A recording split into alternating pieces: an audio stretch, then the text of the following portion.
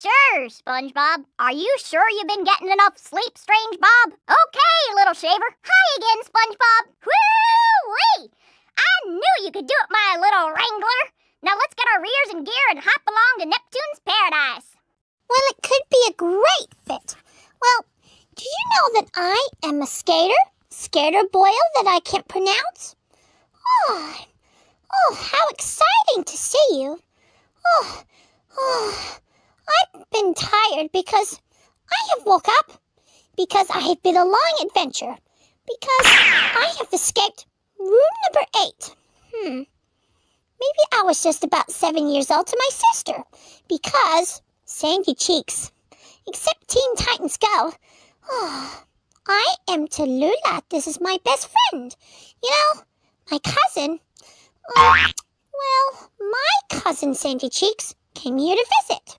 Well, did you know that I here to came to visit here today? Oh, it's comfortable. Well, it's right over here, but I don't know what you're doing. Because I am walking by the house. But today is my favorite day. Still cute? Check.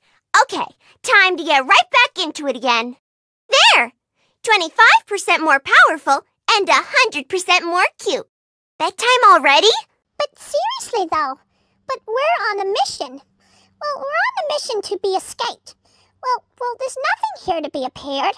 Well, you don't know what you're doing. Well, well, I'm asking. My mission is my favorite word. Well, did you see that I was an otter? Well, was an otter of the judge because my failure speak in an, in an English accent.